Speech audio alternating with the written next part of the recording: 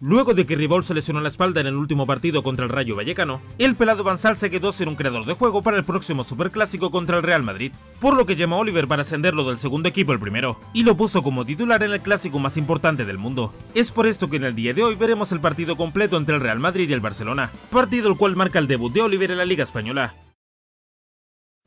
El superclásico arranca con Oliver recibiendo un pase del delantero Luical. El japonés en vez de tocar ese atrás, gira su cuerpo para quedarse en el centro del campo, haciendo una clara provocación a Natureza para que vaya a marcarlo. El brasileño pica el anzuelo y corre para enfrentarlo. Subasa conduce el balón y luego engancha rápidamente hacia la derecha. Lo que era una clara imitación de la finta de Aoshingo, Natureza no pensaba comerse ese regate, y con un solo salto hacia atrás se pone a la altura de su rival, tras lo cual se barre para intentar recuperar la pelota. Oliver lo esquiva con un salto mientras controla la bola, a lo que Natureza reacciona lanzando una patada hacia atrás, con la cual agarre sostiene la pelota por detrás de la rodilla. Subasa no pensaba permitir que el brasileño se quede con la posesión, por lo que engancha la pelota con la zurda para hacer que Natureza pierda el control. El balón sale volando, tras lo cual tanto Subasa como Natureza se paran para rematar con una volea. Ambos llegan a la pelota al mismo tiempo, lo que produce que esta se quede estancada entre las piernas de los dos jugadores. Roberto Carlos se cansa de ver cómo los novatos estaban jugando solos y se lanza con una patada asesina para rematar el esférico. El disparo de Roberto sale con una potencia endemoniada desde mitad de cancha y se dirige rápidamente hacia la portería rival.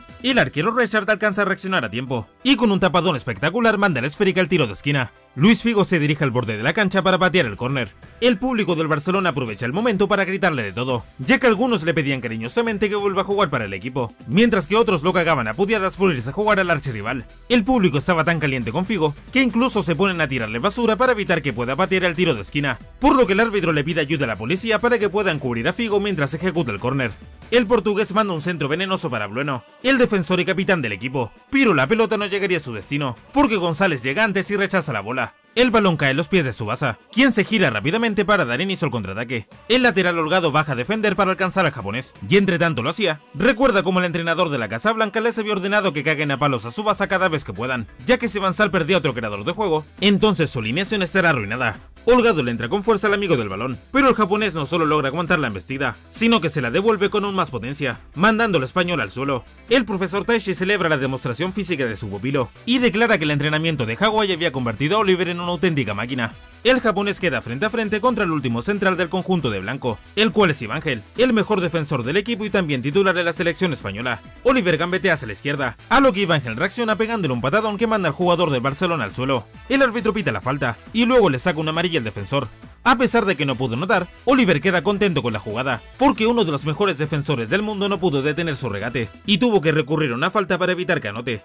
Subasa habla con Lucal para ponerse de acuerdo con el tiro libre, tras lo cual toma carrera para ejecutar la falta. El amigo del balón se pone a imitar los saltitos de Roberto Carlos, y luego corre al costado de la barrera. Lucal en vez de patear el arco le pasa la pelota, ya que Subasa le había pedido que lo deje enfrentar a Evangel una vez más, porque estaba seguro de que sabe si iba a poder vencerlo. Evangel le grita a Oliver que no lo subestime, y después corre adelante para entrarle con todo al japonés. Sin embargo, todo esto era una trampa, porque el verdadero plan de Oliver era traer la marca rival para dejar solo a Overs, quien queda en una inmejorable posición para anotar. Natureza se barre en el último segundo, y alcanza a desviar el remate de Overs con lo justo, por lo que la pelota acaba pegando en el travesaño. Oliver hace su clásico salto antigravitatorio para rematar de chilena, pero el capitán del Madrid lo bloquea con el cuerpo, y mientras están en el aire aprovecha de decirle al japonés que a diferencia del resto no lo subestima, y que pensaba marcarlo de la misma forma con la que marcaba a Ribaul. Subasa le responde que él no es como Ribaul, y luego le toca la pelota con el taco grandios justo antes de caer, dejando al capitán del Barcelona en una muy buena posición para rematar. No obstante, Grandios de nuevo patea como el orto, y manda la pelota justo a las manos del portero Casillas. La hinchada del Barcelona estaba maravillada por el juego de Subasa, y se ponen a curiar su nombre para hacerle sentir el apoyo. Naturez aprovecha la pequeña distracción para pedirle el balón al portero, y después se pone a conducir la esférica en dirección a la portería rival. El brasileño Almieja sale a marcar a su compatriota en la mitad de la cancha, por lo que Natureza se gira y pone a rebotar la pelota con el pie, tal como si se tratara de una pelota de básquet. Aquí el hermano de Natureza piensa que su hermanito se parece mucho a Subasa, ya que Natureza también consideraba el balón como su mejor amigo, y desde que era pequeño iba con él a todas partes por el Amazonas. Volviendo al juego, Natureza solo engancha hacia la derecha para engañar al Mieja, y luego mete un taco por entre medio de las piernas del defensor brasilero, humillándolo completamente. Fonseca intenta ayudar a su compañero a marcar a Natureza, pero el talentoso mediocampista también lo supera, esta vez utilizando Figo para que lo ayude con una pared. Natureza se acomoda para rematar al arco, sin embargo, todo era una finta para engañar a González, quien se come el amago completito. Natureza entonces mete un taco que deja totalmente libre a Raúl, quien se encarga de abrir el marcador con un potente remate a la izquierda. 1 a 0 para el Real Madrid. Subasa felicita a su rival por el tremendo jugadón que se acaba de mandar, tras lo cual le pide el balón al portero para reanudar el partido. El japonés anima al resto de sus compañeros diciéndoles que el encuentro no ha hecho más que empezar, y les pide que le echen huevos para conseguir el gol del empate. Pero el pequeño discurso de Oliver no sirve para una mierda, porque apenas se reanuda el juego, Natureza se hace con la pelota de forma casi instantánea, y luego retira al capitán del Barcelona con un sombrerito con el taco. Almieja va todo caliente por la revancha contra Natureza, y declara que no le va a engañar de nuevo, pero solo un par de segundos después se come un tremendo taco de ruleta.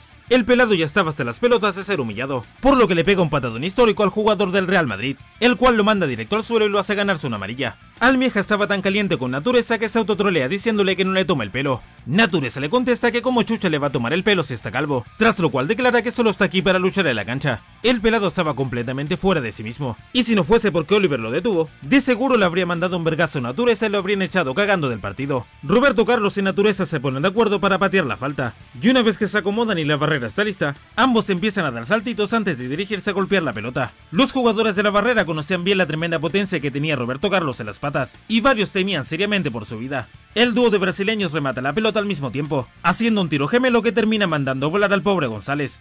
El rebote le queda a Subasa, quien estaba seriamente preocupado por la salud de su compañero. González le dice que está joya y que siga adelante con el juego, por lo que Subasa se gira para dar inicio al contraataque. Natureza llega casi de inmediato a marcar a su rival, así que los dos vuelven a tener un duelo para ser la figura de la cancha. Subasa copia la técnica que Natureza le hizo al Miejas un rato y le da un poco de su propia medicina al brasileño, o al menos lo intenta, porque Natureza como siempre alcanza a reaccionar y utiliza su talón para cortar el regate de Oliver y mandarle un pase a Marientos. Subasa evita que la pelota llegue a su destino con otro taconazo el cual manda la pelota a volar por el aire. Tanto Subasa como Natureza saltan quién sabe cuántos metros en el aire para rematar el esférico, y ambos terminan haciendo un trancazo antigravitatorio que deja a todos en el estadio con la boca abierta. En ese momento Natureza demuestra ser un poco más rápido que Subasa, y con su pierna izquierda le filtra un pase al delantero Marientos. Como González sigue sin aire por el tremendo pelotazo que había parado, Almieja es el encargado de detener al español. El defensor brasileño se barre con todo para evitar que Marientos remate el arco, y termina cometiendo una aparente falta al borde del área. Y digo aparente porque en realidad no fue falta, sino que Marientos se había tirado un descarado piscinazo justo enfrente de los ojos del árbitro, así que se ganó una tarjeta amarilla por simulación. Oliver aprovecha la pausa para pedirle perdón a sus compañeros, ya que hasta ahora le había dado prioridad a su duelo contra Natureza en vez del juego colectivo, y eso estaba perjudicando el equipo, así que les promete que desde ahora en adelante hará todo con el objetivo de conseguir la victoria. Los viejos amigos de Subasa estaban preocupados por él debido que Nature se lo estaba dejando de hijo, y pensaban que eso iba a afectar la confianza de Subasa durante el partido. Roberto les dice que se dejen de hablar weas, porque Subasa ya no es el mismo que era antes, y cosas tan pequeñas como perder un duelo no afectarán su mentalidad. Y efectivamente, Roberto tenía razón, porque Subasa ya estaba pensando en cómo anotar el gol del empate, lo que demostraba un gran crecimiento mental que proviene justamente del hecho que estuvo jugando en segunda. Natureza insiste en seguir a Subasa para continuar con el duelo, pero el japonés lo evita con rápidos toques y haciendo paredes. Natureza estaba tan obsesionado con el amigo del balón que lo siguió sin darse cuenta de que estaba estorbando la marca del equipo, lo cual permitió que los jugadores del Barcelona aparezcan libres por el sector derecho de la cancha. El Barça empieza a jugar al tiki-taka para avanzar por el campo, lo que desordena completamente la marca del Real Madrid, a quienes les estaba complicando seguir a los jugadores debido a que estaban cambiando de puesto constantemente. Overs ve que su base está completamente libre, así que le manda un pelotazo hacia el sector izquierdo de la cancha. Oliver controla el esférico y rápidamente se pone en posición para hacer el clásico tiro con efecto. Natureza le advierte a Casillas que ahí viene el tiro que estaban esperando. Y aquí es donde nos muestran un pequeño flashback en donde Natureza le enseña al joven portero español cómo funciona el legendario tiro de Subasa. Tras ver el disparo desde distintos ángulos y con diferentes efectos, Casillas admite que el tiro de Subasa es algo de otro mundo, pero que aún así pensaba detenerlo, porque quería convertirse en el mejor portero de la historia del Real Madrid. Regresando al juego, Subasa remata el arco con su tiro con efecto. Casillas rápidamente reconoce la trayectoria de la pelota y se pone a correr hacia la izquierda para atrapar el disparo. Al ver el tiro de Subasa bien de cerca, Casillas comenzó a darse cuenta de que era mucho más lento y débil que los remates de naturaleza, lo cual se debía que en realidad Subasa no había pateado el arco, sino que modificó el tiro con efecto para convertirlo en un pase y engañar al portero español. Luical aparece justo en el momento preciso para estirarse y empujar la pelota, anotando así el gol que pone el marcador en tablas otra vez. Los jugadores del Barcelona se deshacen en elogios para Subasa y lo felicitan por el gran pase que le metió Lucal. Incluso hasta le para el dedito en señal de aprobación. La gente en el estadio se vuelve loca al ver que el equipo estaba renaciendo y empiezan a ejercer presión para ayudar al Barcelona a controlar el juego. Los jugadores del Real Madrid se ponen nerviosos al sentir el ambiente del público local, y producto de ellos que pierden la posesión. La pelota regresa como siempre a los pies de Subasa, quien se enfrenta a la marca del defensa bueno. El japonés aguanta la presión como los campeones, y luego se gira para darle otro pase a Lugal. el holandés se lanza de palomita para cabecear la pelota, a lo que Casillas reacciona con un manotazo que salva a su equipo del segundo gol. Ribol se siente orgulloso de ver el gran trabajo que estaba haciendo Subasa en la cancha, y declara que ahora sí podía considerarlo como su auténtico rival. El japonés es el encargado de batir el tiro de esquina, el cual termina siendo rechazado por el capitán del conjunto de blanco. Pep se hace con el rebote, y después le devuelve la pelota a Subasa, quien engaña a la defensa madrilista metiendo un pase de taco para Luis Empoli. El jugador polifuncional del Barça remata de primera, pero Casillas como siempre está atento, y de nuevo manda la pelota al tiro de esquina. Minutos más tarde, Subasa vuelve a tener la oportunidad de atacar por el centro, y utiliza el pase que le dieron para mandar a comprar pan Evangel con una elegante finta. El talentoso defensor español evita que la pelota le quede cómoda al jugador de Barcelona, y desvía la trayectoria del balón con la planta del pie. Subasa se ve obligado a improvisar para mantener el control del esférico, así que manda la pelota hacia arriba para intentar rematar con una acrobacia aérea. Bueno golpea a Subasa en la espalda para evitar que alcance a llegar a disparar, pero el tiro le salió por la culata, porque gracias a su golpe Subasa rebotó en dirección a la pelota, y con una potente volea aérea vacunó Casillas en el minuto 28 de la primera parte. 2 a 1 el marcador a favor del Barcelona. Los compañeros de Subasa corren a felicitarlo por anotar su primer gol en la Liga Española. Sana se muestra orgullosa por el juego de su marido, mientras que a Roberto casi se le sale una lágrima al ver a su pupilo anotar en el clásico más importante del mundo. Subasa estalla de alegría al conseguir su objetivo, y celebra el gol delante de las más de 100.000 personas que estaban curiando su nombre en el estadio. Natureza se sentía frustrado por el hecho de que hace rato no le llegaba el balón, y estaba pensando seriamente en abandonar su posición para seguir a Subasa por toda la cancha, aunque eso signifique ganarse el odio del resto de la plantilla. Natureza se pone a silbar de la nada, y si te preguntas el por qué Chucho lo hace, quédate tranquilo, porque ahora es cuando tenemos un flashback para contarlo del silbido. Resulta que cuando Natureza llegó a España, lo hizo acompañado de su hermano mayor que también es su representante. En ese entonces Natureza se la pasaba silbando, pero no lo hacía por gusto o emoción, sino que silbaba para olvidarse del aire asqueroso de Madrid, ya que para él que se crió la selva virgen del Amazonas, prácticamente cualquier ciudad en el mundo tenía un aire altamente contaminado. Así que digamos que lo del silbido es una técnica que utiliza para olvidarse de lo malo y concentrarse. Regresando al juego, Natureza va a buscar la pelota a la portería para reanudar el encuentro, y de pasada le pega una mirada a Oliver para hacerle entender que esto no hecho más que empezar. Aquí volvemos al pasado de Natureza, en donde vemos cómo tomó las pruebas para ingresar al Real Madrid. En el entrenamiento, el brasileño se bailó a cada jugador del segundo equipo de la Casa Blanca, y también demostró su gran fuerza física aguantando a Samuel, un defensor tanque del primer equipo. Las jugadas de Natureza ese día fueron tan buenas, que apenas el entrenador recibió los vídeos salió corriendo al hotel para buscarlo, y le dijo que era más que bienvenido para jugar en el Real Madrid. Tras ello, Natureza fue presentado de forma oficial con el dorsal número 0, el cual simbolizaba el potencial infinito que tenía el brasileño dentro de la cancha. Desde entonces Natureza se convirtió en uno de los jugadores más importantes de la Casa Blanca, y no soltó la camiseta de titular hasta el día de hoy. Volviendo al encuentro, el Real Madrid le había puesto una doble marca al creador de juego del Barcelona, ya que por fin se habían dado cuenta de que su base era la mente maestra detrás de cada ataque del conjunto local. Es por esto que el Barcelona empieza a utilizar al veterano de mil batallas Luis Empoli, quien habilita al delantero Luical para que se remate la portería rival. Casillas ataja la pelota fácilmente, y luego Guti se hace con el balón tras interceptar a su base. El 14 de los blancos rápidamente se ve rodeado por la marca del Barcelona, así que no le queda de otra que pegar un pelotazo hacia adelante. Natureza corre con todo lo que tiene para llegar a la pelota, y la detiene justo antes de que salga de la cancha. Detrás del brasileño el juez señala que solo se añadirá un minuto de tiempo extra, así que Natureza solo le quedaban 60 segundos para intentar empatar el marcador antes de irse al descanso. El brasileño conduce la pelota en diagonal para enfrentarse al Mieja, y luego engancha hacia la derecha para abrir la cancha. Tanto sus compañeros como los jugadores del Barcelona pensaban que se estaba abriendo para meter un centro, pero Natureza tiene en mente otra cosa, y en vez de centrar, detiene la pelota para esperar que el hombre de la marca de la serpiente llegue a defender. Cuando quedaban menos de 15 segundos para el final de la primera parte, Natureza hace su jugada y pisa la pelota hacia atrás para luego girarse y meter un remate con el taco, el cual pasa por entre medio de las piernas de Fonseca. El disparo toma totalmente por sorpresa al portero, y debido al rebote no alcanza a tocar el esférico. Cuando la pelota estaba a punto de entrar, Subas aparece volando para despejar el balón con un cabezazo. Maniobra la cual hace que choque violentamente contra el palo. El estadio completo celebra la tremenda salvada que había hecho el japonés, pero el árbitro les dice que no tan rápido, porque para sus ojos la pelota había entrado al arco. Así que pita gol a favor del Real Madrid, por lo que el primer tiempo acaba con un empate a dos goles. Subasa se levanta medio resentido por el choque, y junto con sus compañeros se van al vestuario con un sabor amargo en la boca, mientras que Natureza estaba más contento que nunca, porque al final pudo devolver el gol que le había anotado su rival. En los camarines el entrenador del Madrid agarra puteadas a sus jugadores, debido que antes del partido les había advertido que marquen bien a Subasa, y al final el japonés terminó vacunándolos y metiendo una asistencia. Los jugadores se defienden diciendo que Subasa era mucho mejor de lo que esperaban, y que su talento los había tomado por sorpresa. Blue no estaba hasta las pelotas de las quejas de sus compañeros, por lo que se dirige la pizarra para escribir que Subasa es igual de bueno que Rival, así que en la segunda mitad debían marcarlo con la misma fiereza que el brasileño.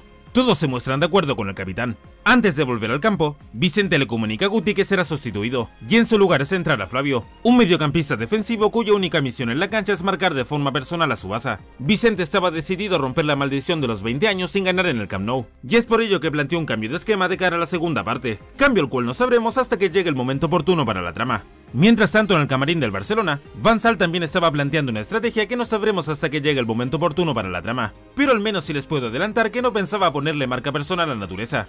Una vez terminado el descanso, ambos equipos salen otra vez a la cancha. La mirada de Subasa se encuentra de inmediato con la de Natureza, quien le guiñó un ojo en señal de que está ansioso por comenzar. La segunda mitad del superclásico arranca, y Subasa de inmediato se barre con todo para intentar recuperar la pelota. Luis Empoli lo ayuda, y entre los dos se hacen con la posesión. El veterano le entrega el balón a Subasa, quien se enfrenta a la marca del recién ingresado Flavio. El pelado tenía bien estudiado el japonés, ya que se había visto cada puto video de sus partidos cuando estaba en Brasil, así que estaba altamente preparado para marcarlo. Subasa no ve ninguna debilidad de la defensa de Flavio, ya acaba reteniendo tanto la pelota que al final termina siendo rodeado y perdiendo el esférico. El Real Madrid se pone a tocar la pelota rápidamente para llegar al campo rival, y gracias a una jugada acrobática de naturaleza, Raúl queda en buena posición para anotar. Puyol extrema recursos para alcanzar al delantero del Madrid, y con una barrida le quita la pelota y lo manda al suelo. Al árbitro le parece que la entrada había sido excesivamente violenta, así que pide la falta, otorgándole un valioso tiro libre al equipo visitante. Natureza pide la pelota para patear la falta, por lo que la barrera del Barcelona se prepara para un remate al arco. Sin embargo, el brasileño engaña a todos pasando la pelota al costado, y el que aparece justo por su espalda no es otro que el mítico Roberto Carlos, quien patea un verdadero misilazo que pasa por debajo de la barrera y se clava en el fondo de la red. 3 a 2 el marcador a favor del Real Madrid. Tras el gol, el Barcelona continúa atacando a través de su base, el cual le mete un sombrerito a Makelele y después supera la marca de Flavio con un elegante caño, el que por cierto hizo copiando el regate de naturaleza. Ya hablando de naturaleza, el brasileño estaba más atento que nunca a los movimientos de su rival, y es por ello que logra quitarle la pelota antes de que su base se dé cuenta. El Real Madrid entonces arma el contraataque, y la pelota acaba en los pies de Figo, quien deja atrás a Luis Empoli para después meterle un centro Marientos. Puyol gana la batalla aérea y despeja la pelota, pero el rebote le queda a naturaleza, el cual remate de primera con una volea. El balón se dirige a la portería de Richard con un efecto extraño, debido a que parecía que la pelota iba a salir de la cancha. No obstante, el esférico cambia de dirección cuando toca el suelo, lo que engaña completamente al portero del Barça, pero no al veterano González, quien con una barrida de último minuto evita que el Real Madrid anote el cuarto.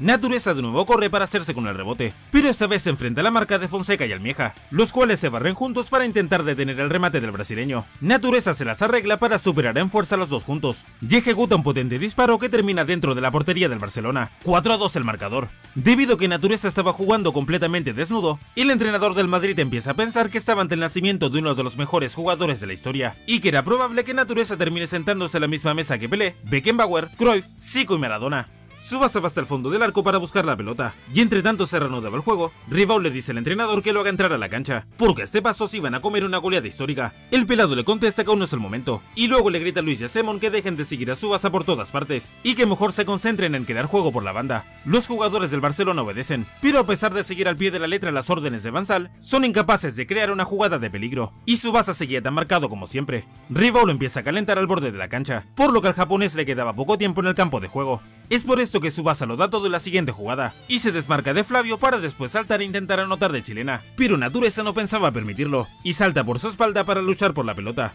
La batalla aérea la gana el brasileño, el cual con un cabezazo rechaza el desesperado ataque del Barcelona. Como si esto no fuese suficiente, el árbitro sanciona a la chilena de Subasa como jugada peligrosa, y le saca tarjeta amarilla por andar desafiando las leyes de la gravedad. Banzal empieza a perder la esperanza de que Subasa los lleve a la victoria, por lo que llama a Rival para que entre a la cancha. Cuando el balón sale del campo de juego, el juez anuncia un cambio para el Barcelona. El número 28 será sustituido por el número 10. Subasa no se podía creer que el pelado lo esté sacando ahora, y se negaba a abandonar la cancha. González le grita que se comporte como un profesional, y le hace entender que está perdiendo valiosos segundos de juego para dar vuelta al marcador, ya que estaban perdiendo por dos goles. Subasa entonces corre llorando para abandonar el campo.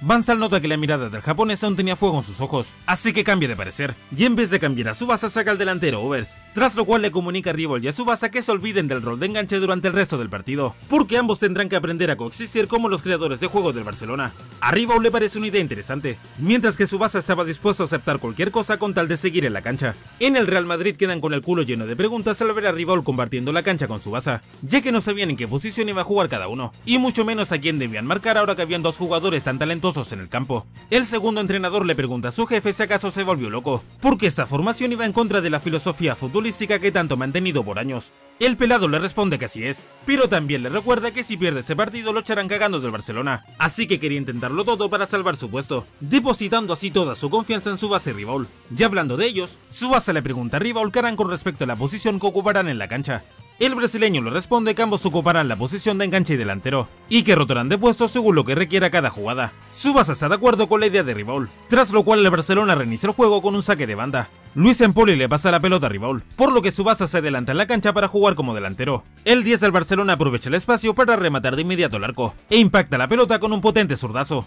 El disparo choca en el palo y se va para afuera, pero a pesar de que había fallado, el público anima a su estrella para que continúe atacando. Vicente le ordena a sus dirigidos que vayan a por el tercero, ya que quería asegurar el encuentro, por lo que el Real Madrid adelanta sus líneas para armar el ataque. Subasa baja a defender para ayudar a su equipo a ejercer presión, y entre todos logran interceptar el pase de Maquelele a Raúl. La pelota de todas maneras le queda a Natureza, quien se enfrenta a la marca de Rival. El jugador merengue gambetea hacia la derecha, tras lo cual salta para esquivar la barrida de Rival. Subasa aprovecha que su rival estaba en el aire para robarle la pelota, y luego acelera el paso para ejecutar el contraataque en conjunto con Rival. Subasa se cruza por delante de su compañero para dejarle el balón sigilosamente, y después Rival le devuelve el esférico con un pase. Subasa en dos tiempos filtra una pelota dentro del área para Rival, la que lo deja frente a frente con el capitán de la Casa Blanca. El 10 intenta irse de la marca regateándose la derecha, pero Buleno lo ve venir y le corta el paso. La pelota sale volando hacia arriba. Rival salta para ejecutar una chilena, sin embargo, al final cambia de opinión, y le da un pase a Subasa, el cual se eleva para hacer otra chilena que ahora sí que sí se clava en el fondo de la red. 3 a 4 el marcador.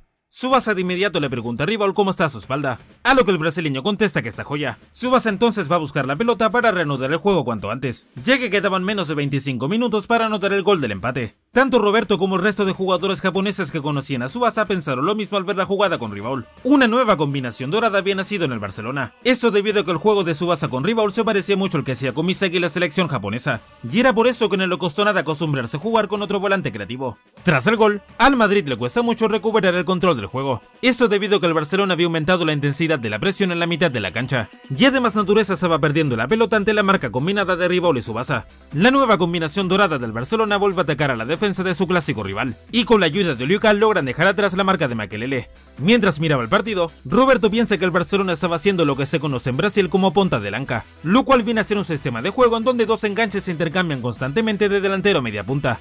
Por lo general este sistema es muy difícil que funcione, pero si tienes a dos jugadores altamente talentosos como Subasa y Rival, entonces se vuelve una estrategia ofensiva increíble. Subasa conduce la pelota por detrás de Lucal y Rival, a quienes utiliza como señuelos para engañar a Evangel y dejarlo atrás con una gambeta. Buleno sale a cubrir a su compañero, y al ver que Subasa estaba a punto de rematar, se cruza para bloquear el curso del tiro. Subasa engancha con la pierna derecha para acomodar el balón para rematar con la zurda, a lo que Buleno de nuevo reacciona bloqueando el curso del tiro. No obstante, Subasa otra vez hace una finta, y le mete un taco sorpresivo a Rival para que finalice la jugada. Natureza aparece por detrás para intentar llegar a la pelota. Sin embargo, Rival es una fracción de segundo más rápido, y con todo el dolor de su espalda gira el cuerpo para patear la pelota con efecto, ejecutando así un disparo que ni siquiera Casillas es capaz de alcanzar. 4-4 el marcador. Rival logra emparejar el juego al minuto 31 de la segunda mitad, pero a cambio había sacrificado lo poco que le quedaba sano de su espalda. A pesar del dolor, Rival finge que estaba joya, y le grita a Subasa que vaya a buscar la pelota para reanudar el encuentro, ya que aún tenían que ganar el partido. Natureza por otra parte estaba comenzando dudar de sí mismo, debido a que los dos goles se generaron porque perdió la pelota, y desde hace rato que estaba siendo anulado. Sus compañeros notan que se estaba poniendo modo emo, así que le suben el ánimo diciéndole que todos se han sentido tal como se siente él ahora, así que no tenía de qué preocuparse, y le aconsejan que mejor se concentre en anotar el próximo gol, ya que confiaban plenamente en él para conseguirlo. Natureza se siente agradecido de pertenecer a un equipo como el Real Madrid, y entonces se dirige al centro de la cancha para reiniciar el encuentro. Justo cuando el Barcelona estaba en su mejor momento, las desgracias comienzan a llegar, esto porque Ribol se desploma en el suelo luego de recibir un pase de Almieja. Van Sal piensa seriamente en reemplazar a su estrella para cuidar su carrera, pero después recuerda la última conversación que tuvieron cuando salieron a cenar, en donde Ribol le dijo que soñaba con ganar la Champions bajo su cargo, y estaba dispuesto a sacrificar cualquier cosa con tal de hacerlo realidad. El pelado está a punto de comunicarle al juez su decisión de cambiar de jugador, pero los gritos de Ribol lo detienen, el cual estaba gritando a Subasa que se acerque para decirle algo importante. Quería confiarle el rol de enganche en este partido a él, ya que quería quedarse como delantero para descansar y reponerse por un par de minutos. Subasa accede a su petición preocupado, mientras que el pelado decide darle un tiempo más a su estrella, porque quería ver qué tan lejos podía llegar con su cuerpo al límite. Van saca a Casemon para hacer entrar a Kotu, un mediocampista todoterreno capaz de jugar de área a área sin cansarse. En los siguientes minutos el Real Madrid recupera el control del juego, y el Barcelona no puede hacer otra cosa que defender ahora que eran uno menos por la lesión de Ribaul. El equipo visitante gana un valioso tiro de esquina, por lo que todos suben para buscar el cabezazo. Luical baja a defender para ayudar a sus compañeros, mientras que Subasa va hacia el lado contrario para prepararse para un contraataque. Natureza piensa en seguirlo, pero luego recuerda que su deber en este encuentro es anotar, así que se devuelve al área del Barcelona. Figo centra la esférica, y la gran mayoría de los jugadores en el área saltan para intentar llegar a la pelota. Bueno choca el cabezazo con González, tras lo cual Fonseca le gana un trancazo a Raúl y despeja la pelota. La redonda le queda al Mieja, quien rápidamente busca con la mirada a Subasa y a Rival para la contra. El pelado mete un pelotazo que es interceptado por Natureza, el cual aprovecha la potencia del pase para rematar de primera, creando así un potente disparo que deja parado al portero del Barcelona. 5 a 4 el marcador a favor del Real Madrid.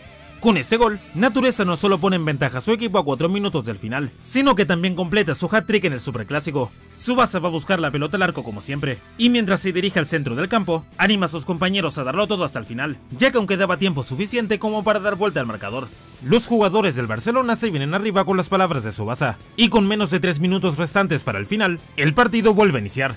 Natureza ahora estaba haciéndole marca personal a Subasa, así que al Barcelona no le queda de otra que buscar el ataque por las bandas. Kotu mete un centro hacia atrás apuntando al amigo del balón, quien salta batallando con Natureza para conectar la pelota. Ambos chocan el esférico con un cabezazo, y el rebote lo acaba ganando Luical, el cual cabecea para darle un pase al capitán. Subasa se desmarca para recibir el esférico otra vez, pero nadie estaba libre para crear una jugada con él, debido a que el Madrid había reforzado la marca, y no dejaban espacios para atacar. Roberto se para de su asiento, y le grita a Subasa que le eche huevos y encare, lo cual era justamente lo que pensaba hacer el japonés. Subasa conduce la pelota hacia la derecha, a lo que Natureza responde cortándole el paso. El público local anima a su creador de juego para que pueda superar a su rival, mientras que el árbitro se pone mirar el reloj. El capitán Grandio se adelanta para ayudar a su compañero, lo cual es aprovechado por Subasa para engañar a Natureza con una finta de pase, y luego rota sobre sí mismo para dejar atrás al brasileño. El enganche del Barcelona se apresura para rematar al arco, pero Natureza rápidamente lo alcanza copiando su movimiento, tras lo cual se barre para bloquear el disparo. Subasa esquiva la barrida enganchando la pelota con el empeine,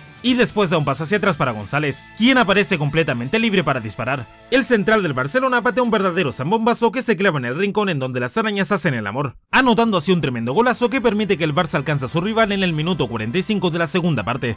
El cuarto árbitro anuncia que se añadirán 3 minutos más al tiempo reglamentario, por lo que González le grita a Ribaul que vaya a buscar la pelota, y le encarga que cumpla con su deber como estrella y anota el gol de la victoria. Ribaul se motiva gracias a las palabras de González, y arenga a sus compañeros declarando que van a obtener la victoria sea como sea. El brasileño deja la pelota en el centro del campo, tras lo cual se aleja para esperar el ataque del Madrid. Natureza habla con Raúl para pedirle que lo ayude con la siguiente jugada, y apenas se reanuda el encuentro, el 7 de los blancos patea el balón en dirección al talentoso brasileño, quien aprovecha la potencia del remate para disparar desde mitad de cancha. Subasa se apresura para correr y bloquear el tiro, alcanzando con lo justo desviarlo. Almieja apenas evita que la pelota salga por la banda, tras lo cual Empoli lucha con Figo por ganar la posesión. Subasa se golpea las piernas para superar el calambre, y después se reincorpora al ataque recibiendo un del capitán. Flavio lanza una barrida asesina para rajar al japonés, pero Subasa lo esquiva saltando con la bola. Natureza intenta recuperar el esférico en segunda instancia. Sin embargo, Subasa es una fracción de segundo más rápido, y le filtra un pase a la estrella del Barcelona. Rival controla la pelota, y luego se acomoda para rematar a la portería del Madrid.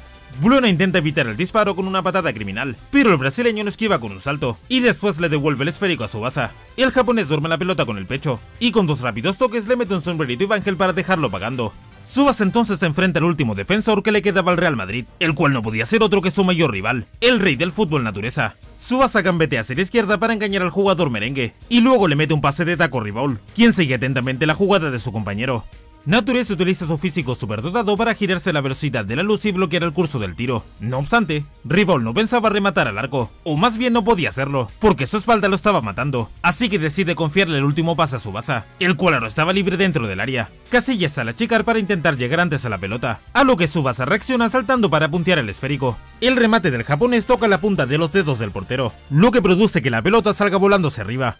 Subasa no pensaba permitir que todos sus esfuerzos fueran en vano, y justo antes de caer apoya la palma de su mano derecha para mantener el equilibrio, tras lo cual impacta la pelota con la planta del pie. El balón se dirige rápidamente a la portería vacía del Madrid, y termina chocando en el travesaño. La pelota queda rebotando justo en la línea de gol, lo que motiva tanto a Subasa como a Natureza para darlo todo en una última carrera. Natureza se tira con una barrida para despejar el balón, mientras que Subasa se lanza de cabeza para empujarla dentro.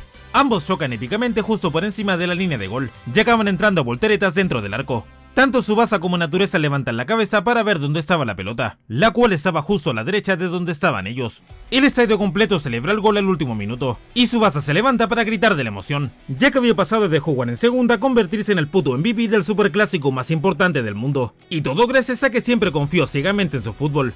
Natureza se levanta con la percepción de la realidad completamente alterada y agarra la pelota para reiniciar el partido. Sin embargo, el árbitro lo detiene y le pide la pelota para terminar con el encuentro. Los jugadores del Barcelona celebran la victoria por un 6 a 5, y tanto González como Ribaul eliminan todos los pensamientos que tenían sobre el retiro, porque este partido les había enseñado que aún les quedaba gasolina en el tanque.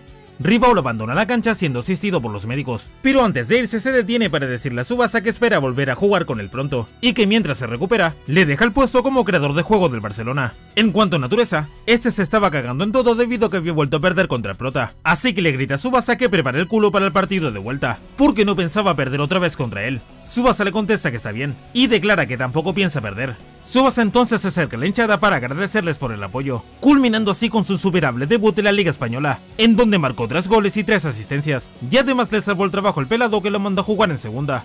Al otro día, la noticia de que un japonés jugó completamente desnudo recorre todo el mundo, lo que motiva tanto a los amigos de Subasa como a sus rivales futbolísticos. Por otra parte, la Federación Japonesa ya se estaba listando para anunciar la nómina de cara a los Juegos Olímpicos Sub-22, pero dicha nómina la conoceremos en el siguiente video, porque hasta que llega el arco del debut de Oliver en España. En el último resumen vi que varios me comentaron que me salté el arco del Mundial Sub-20, y tienen razón, así que durante las siguientes semanas subiré ese resumen y también el mini arco de Hyuga en el Regina. Coméntame abajo cuál quieres que suba primero, y como siempre no te vayas sin antes dejar tu like, tu comentada, tu suscribida y todas esas weas para que así podamos romperle el orto al algoritmo de YouTube y llegar a más personas. Dicho todo esto, me despido, nos vemos y hasta otra.